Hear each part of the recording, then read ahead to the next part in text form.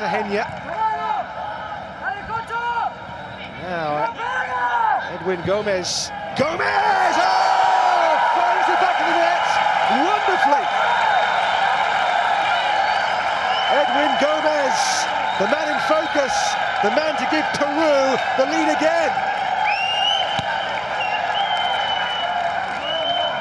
That is a beautiful strike. Sure the goalkeeper was at his most convincing, but you think he cares? Not a bit of it. Edwin Gomez and Peru back in the lead here with a brilliant strike. Wonderful hit